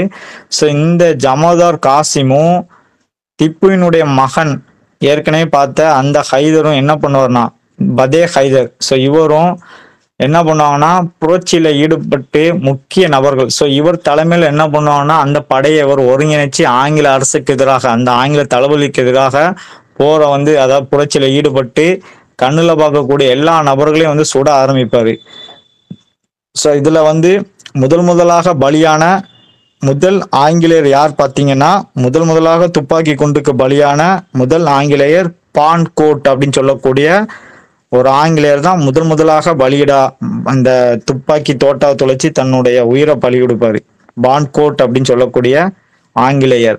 ஸோ அந்த புரட்சி நடந்துட்டு இருக்கக்கூடிய சமயத்துல வந்து இரண்டாவது அடுத்ததா கொல்லப்படக்கூடிய நபர் யாருன்னா இரண்டாவது இருபத்தி மூன்றாவது படைப்பிரிவை சார்ந்த கர்னல் மீகாரஸ் அப்படின்னு சொல்லக்கூடிய நபரும் கொல்லப்படுவார். அடுத்ததாக கொல்லப்படக்கூடிய நபர் கர்னல் மீகாரஸ் இது எல்லாமே வேலூர் கோட்டையில நடக்கக்கூடிய சம்பவங்கள். ஸோ அதுக்கப்புறம் வந்து என்ன ஆகும்னா மேஜர் ஆம்ஸ்ட்ராங் அப்படின்னு சொல்லக்கூடிய அந்த முக்கியமான தளபதியும் கொல்லப்படுவார். ஸோ அதுக்கப்புறம் ஒரு மணி நேரம் கழிச்சு அடுத்தது யார் கொல்லப்படுவாங்கன்னா லெப்டினன்ட் எல்லிஸ் லெப்டினன்ட் எல்லி அடுத்தது lieutenant Popham lieutenant Ellie lieutenant Popham so இவங்களும் கொல்லப்படுவாங்க. ஸோ கிட்டத்தட்ட பதிமூன்று ஆங்கில அதிகாரிகளும் எண்பத்தி ரெண்டு சிப்பாய்களும் கொல்லப்பட்டிருப்பாங்க. மொத்தம் தொண்ணூத்தி ஓரு பேர் வந்து என்ன பண்ணிருப்பாங்கன்னா படுகாயம் அடைஞ்சிருப்பாங்க. இந்த புரட்சி நடந்துட்டு இருக்கும்போது பதிமூன்று அதிகாரிகள் இருபத்தி ரெண்டு சிப்பாய் எண்பத்தி ரெண்டு சிப்பாய்கள். பதிமூணு அதிகாரிகள் எண்பத்தி ரெண்டு சிப்பாய்கள். தொண்ணூத்தி ஓரு பேர் படுகாயம் அடைஞ்சிருப்பாங்க. ஸோ இந்த புரட்சி நடந்துட்டு இருக்கும்போது ஏற்கனவே தகவல் வந்து பரிமாறப்பட்டிருக்கு. நான் சொன்ன மாதிரி முஸ்தபா பேக் வந்து போர்பஸ் அப்படின்னு சொல்லக்கூடிய அந்த நபருக்கு வந்து தகவல் கொடுத்துறாரு புரட்சி ஆரம்பிச்சுட்டு எல்லாரும் துப்பாக்கி எடுத்து சுட ஆரம்பிச்சிட்டாங்க. உடனடியாக நீ வந்து தளபதிக்கு சொல்லி படையை கூட்டுவாங்கிற அந்த சம்பவம் வந்து நான் நடந்துரும். ஏற்கனவே கோட்டையினுடைய காவலாளி கார்பரஸ் அவரும் வந்து என்ன பண்ணுவாருன்னா தகவல் கொடுத்துருவாரு. அவர் கோட்டைக்கு வெளியில க- பாதுகாவல ஈடுபட்டிருப்பாரு. அவர் தலைமையில கோட்டையை சுத்தி ஒரு பாதுகாவல் படை இருக்கும். அந்த படையும் வந்து கொல்லப்படும். ஸோ அவர் வந்து தகவலை வந்து என்ன பண்ணிடுவாரு? அடுத்த ஆங்கில அதிகாரிக்கு தகவலை கொடுக்கறதுக்கு உண்டான வேலையை ஆரம்பிச்சிருவாரு. ஸோ இந்த தகவல் வந்து எல்லாமே வந்து பார்த்தீங்கன்னா ஒவ்வொன்றா போய் கடைசியாக வந்து பார்த்தீங்கன்னா மேஜர் குட்ஸ் அப்படின்னு சொல்லக்கூடிய அந்த தளபதிக்கு பேரும் அவர் எங்கே இருப்பார்னா ஆர்காட்டின்ல குதிரைப்படை தளபதியாக இருப்பாரு. ஸோ இந்த மேஜர் குட்ஸ் வந்து ஆர்காட்டினுடைய குதிரைப்படை தளபதியாக இருக்கும்போது அவர் வந்து என்ன பண்ணுவார்னா நேராக போய் கில்லஸ்பி அப்படின்னு சொல்லக்கூடிய அந்த கர்னல் கில்லஸ்பி அவருக்கு மேலே இருக்கக்கூடிய அந்த அதிகாரிக்கு வந்து தகவல் கொடுப்பாரு. மேஜர் குட்ஸுக்கு கடைசியாக தகவல் போகும். மேஜர் குட்ஸ் வந்து ஆர்காட்டினுடைய குதிரைப்படை தளபதியாக இருப்பார். அவர் தகவலை ரிசீவ் பண்ணதுக்கப்புறம் கர்னல் கில்லஸ்பிக்கு போய் சொல்லுவார். இந்த மாதிரி வேலூர் புரட்சியில் புரட்சி வெடிச்சிட்டு நம்ம உடனடியாக போகணும் அப்படின்னு சொல்லி தன்னுடைய மேல் அதிகாரி கர்னல் கில்லஸ்பிக்கு வந்து என்ன பண்ணுவோம்னா தகவல் கொடுப்பாரு. ஸோ அதுக்கப்புறம் வந்து என்ன பண்ணுவோம்னா ஆங்கில அரசு வந்து படையை திரட்டி கில்லஸ்பியும் வந்து என்ன பண்ணுவார்னா அவருடைய தலைமையில படை திரட்டி போவாங்க. இதுல வந்து பாத்தீங்கன்னா கேப்டன் யாங்க் அப்படின்னு சொல்லக்கூடிய தலைமையில ஒரு குதிரைப்படையும் வந்து ஒன்று சேரும். கேப்டன் யாங்க். கேப்டன் யாங் தலைமையில குதிரைப்படை ஒன்று சேர்ந்து காலை ஒன்பது மணி அளவுல கில்லஸ்பியும் அந்த மற்ற மேஜர் கூட்ஸ் அவர் தலைமையில் இருக்கக்கூடிய படைகள் வந்து கோட்டையை முற்றுகையிடும். கிட்டத்தட்ட ஆய நூத்தி பதிமூணு ஐரோப்பியர்கள் வந்து என்ன பண்ணிருப்பாங்கன்னா இந்த புரட்சியில வந்து கொல்லப்பட்டிருப்பாங்க. முன்னூத்தி ஐம்பது சிப்பாய்களும் கொல்லப்பட்டிருப்பாங்க. கடைசியா வந்து என்ன ஆகும் அப்படின்னா எண்ணூறு பேர் வந்து ஒட்டுமொத்தமாக இறஞ்சிருப்பாங்க. ஸோ பிளாக்ஸ்டன் அப்படிங்கிற ஒரு அந்த ஆங்கில அர- அந்த அதிகாரி என்ன சொல்லுவார்னா இந்த புரட்சி புரட்சியினுடைய ஒட்டுமொத்தமாக ஒரு அறிக்கையை கொடுத்திருப்பாரு. அதாவது எண்ணூறுல இருந்து ஆயிரம் வரைக்கும் நபர்கள் கொல்லப்பட்டிருக்கலாம் அப்படின்னு அவர் ஒரு அறிக்கையை கொடுக்காரு. ஸோ அதுக்கப்புறம் கிட்டத்தட்ட அறநூறு பேர் வந்து கைது செய்யப்பட்டு நாடு கடத்தப்பட்டனர். அதுக்கப்புறம் வந்து திப்புவினுடைய மகன் இரண்டு பேர் பைத பதேர் ஹைதர் அவரும் ஜமாலுதீன் அப்படின்னு சொல்லக்கூடிய அந்த நபரும் வந்து என்ன பண்ணாங்கன்னா கைது செய்து அவரை வந்து என்ன பண்ணிடுவாங்க கொல்கத்தா அப்படின்னு சொல்லக்கூடிய அந்த பகுதிக்கு நாடு கடத்திடுவாங்க. அதுக்கப்புறம் வில்லியம் பெண்டிங் பிரபு வந்து அந்த புரட்சியை கணிக்க தவறியதுனால அவர் தன்னுடைய படை தளபதியான ஆக்னோ அப்படின்னு சொல்லக்கூடிய அந்த நபரை வந்து திரும்ப அழைச்சிக்குவாரு. கில்லஸ்டி வந்து இந்த படையை இந்த புரட்சியை ஒட்டுமொத்தமாக ஒடுக்கி அனைவரையும் வந்து கைது பண்ணி சம்பவத்தில் ஈடுபட்டவர்களுக்கு வந்து தூக்கில் தூக்கில் தண்டனை வாங்கி கொடுத்தனால கில்லஸ்பிக்கு வந்து கிட்டத்தட்ட ஆங்கில அரசு என்ன பண்ணியிருப்பாங்கன்னா ஏழாயிரம் பக்கோடாக்கள் வந்து பரிசா வந்து கொடுத்துருப்பாங்க. ஏழாயிரம் பக்கோடாக்கள் பரிசா கொடுக்கப்பட்டு அவருக்கு ப்ரொமோஷனும் வந்து கொடுத்துருப்பாங்க. ஸோ இந்த புரட்சி இதோட முடியும். ஸோ இதில் வந்து ஒரு மதிப்பீடு என்ன கொடுத்துருப்பாங்க அப்படின்னா இந்த புரட்சியினுடைய விஷயம்தான் பிற்காலத்துல வந்து பாத்தீங்கன்னா ஆயிரத்தி எண்ணூத்தி ஐம்பத்தி ஏழுல நடக்கக்கூடிய முதல் இயந்திர முதல் இந்திய சுதந்திர போர். ஸோ அந்த சுதந்திர போருக்கு இந்த புரட்சி வந்து ஒரு க முன்னோடி அப்படின்னு சொல்லி யார் சொல்லியிருப்பானா விடி சாவக்கர் அப்படின்னு சொல்லக்கூடிய அவங்க வந்து ஆயிரத்தி எண்ணூத்தி ஐம்பத்தி ஏழு புரட்சியினுடைய முன்னோடி அப்படின்னு சொல்லி இந்த வேலூர் புரட்சியை வந்து முன்னிட்டு குறிப்பிடுறாரு. அது மட்டும் கிடையாது கே. கே. பிள்ளை அவர் வந்து என்ன சொல்றாருன்னா ஆயிரத்தி எண்ணூத்தி ஐம்பத்தி ஏழு புரட்சியோட இந்த வேலூர் புரட்சியை வந்து ஒப்பிடக்கூடாது. ஏன்னா அது வந்து வேற இதனுடைய தாக்கம் வேற அப்படின்னு சொல்லி அவர் வந்து தன்னுடைய கருத்தை வந்து சொல்லியிருக்காரு. ஸோ என்னதான் இருந்தாலும் விடுதலை போருக்கு தமிழர்கள் தான் முதல் காரணம் அப்படின்னு சொல்லி சஞ்சீவி அப்படின்னு சொல்லக்கூடிய அந்த நபர் வந்து இந்த வே விடு இந்த வேலூர் புரட்சியை வந்து இந்தியாவினுடைய விடுதலை போரினுடைய முதல் சுதந்திரத்தினுடைய முதல் போராக இதை வந்து கருதலாம் அப்படின்னு சொல்லி சஞ்சீவி அப்படின்னு சொல்லி சொல்றாரு. தமிழர்கள் தான் விடுதலை போருக்கு முதல் முன்னோடி அப்படின்னு சொல்லி இந்த புரட்சியின் அடிப்படையில் சஞ்சீவி கருத்து கூறுறாரு. ஸோ ராசையா அப்படின்னு சொல்லக்கூடிய நபர் என்ன சொல்றாருன்னா மருது சகோதரனுடைய போராட்டத்தினுடைய தொடர்ச்சி தான் இந்த புரட்சி அப்படின்னு சொல்லி சொல்றாப்ல ஸோ இவ்வளவுதான் இந்த வேலூர் புரட்சியினுடைய ஷார்ட்கட் இதுல இதில் இது எல்லாமே வந்துட்டு ஹிஸ்ட்ரியாக உங்களுக்கு பாட்டில் வரக்கூடியதை ஒரு லைட்டடாக ஸ்டோரி மாதிரி உங்களுக்கு சொல்லியிருக்கேன்.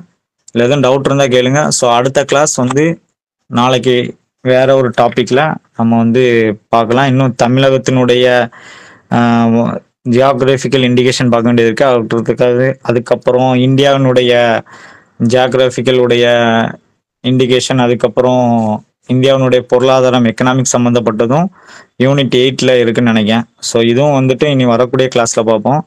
Thank you sir thank you so much நல்ல செஷன்ஸ் சார் சொல்றது மாதிரி ஹிஸ்டரி நம்ம பார்த்தோம்னா ரொம்ப நேரம் ரொம்ப இவ்வளோ ஷார்ட் டைம் நமக்கு இருக்கக்கூடிய அந்த ரெண்டு மாதம் ஷார்ட் டைம்ல முடிக்க முடியாது ஜென்ரல் ஸ்டடீஸ் பொறுத்த வரைக்கும். பட் சார் வந்துட்டு முக்கியமான பாயிண்ட்ஸு எதை மாதிரியான கொஷின்ஸ் இது வரைக்கும் கேட்டிருக்காங்க எப்படி கேட்பாங்க அப்படிங்கிற பட்சத்தில் நமக்கு ரொம்ப ஷார்ட் அவுட் பண்ணி ரொம்ப கிளியராக எக்ஸ்பிளைன் பண்ணியிருக்காங்க. Thank you sir thank you so much thank you sir sir அந்த தீரன் சின்னமலை வந்து பழைய கோட்டை மன்றாடி அதுக்கப்புறம் என்ன சார் பழைய கோட்டை மன்றாடியார் குடும்பத்தை சார்ந்தவர். அவருடைய பிரிவு சொல்லுவாங்களே அந்த என்ன சொல்றது அவங்களுடைய வகுப்பு அந்த இனம் அப்படிங்கிறது. ஓகே ஒரு- பரம்பரை. அவங்களுடைய பரம்பரை வந்து பழைய கோட்டை மன்றாடியார் குடும்பம் அப்படின்னு சொல்லக்கூடிய அந்த பரம்பரையில இருந்து வந்தவர் அவர். எல்லாமே வந்துட்டு உங்களுக்கு ஸ்கூல் புக்கில் உள்ளதுதான். நான் எதுவுமே வந்துட்டு எக்ஸ்ட்ராவா என்ன- எனக்கு தெரிஞ்ச கதைகளை சொல்ல எல்லாமே வந்துட்டு ninth tenth plus one school புக்கில் உள்ள அந்த உள்ளது உள்ளதான் நான் உங்களுக்கு எடுத்து ஷார்ட்கட்டாக சொல்லியிருக்கேன்.